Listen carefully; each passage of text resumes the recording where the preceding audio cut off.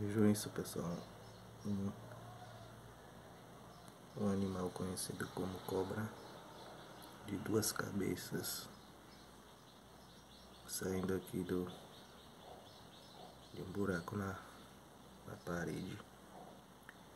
Na verdade, não é uma cobra e nem possui duas cabeças. Se trata aqui de um, um, um réptil. Foi esse animal era tido como anfíbio, porém agora a comunidade científica já o classificou como um réptil. É isso galera, espero que curtam.